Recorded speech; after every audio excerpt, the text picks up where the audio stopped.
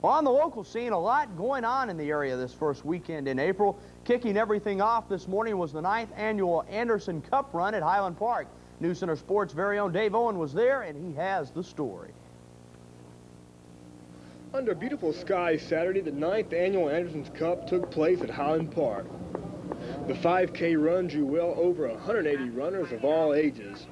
Tim Irvine of Laurel won the men's division with a time of 15.26. It was his first time to run in the race, and he was very impressed with the race overall. Yeah, I really enjoyed it. I think it's uh, a nice race, well put on. Uh, the course is really laid out well. Uh, not much of a chance to take a wrong turn, and that's pretty important to me.